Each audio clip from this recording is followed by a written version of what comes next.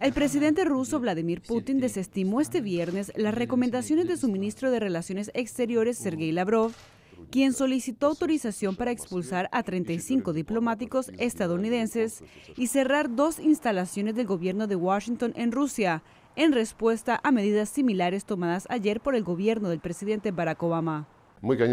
Por supuesto que no podemos dejar estos trucos sin respuesta. La mutualidad es una ley de la diplomacia y las relaciones exteriores. Pero Putin rechazó la idea, posiblemente previendo mejores relaciones con el gobierno entrante de Donald Trump. El presidente Barack Obama dijo a través de un comunicado que todos los estadounidenses deberían alarmarse por las acciones de Rusia. Además, envió un mensaje de concientización sobre la actividad cibernética maliciosa de Moscú. Para el experto en seguridad cibernética James Lewis, las acciones de la Casa Blanca son evidencia del claro mensaje que se quiere enviar a la comunidad internacional. Estas son las represalias más serias contra el espionaje ruso desde el fin de la Guerra Fría. Y una cosa que hay que observar es que Estados Unidos puede no ser el único que dé el próximo paso.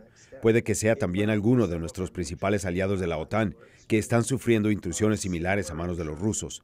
Esta es una poderosa señal y un primer paso de lo que va a ser la gran campaña para volver a controlar a Rusia. Pese a que el presidente electo Donald Trump previamente expresó que Estados Unidos debería olvidar el tema y seguir adelante, aseguró sin embargo que se reunirá con líderes de inteligencia la próxima semana para conocer los detalles de la situación.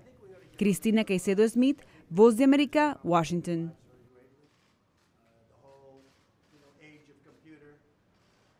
where nobody knows exactly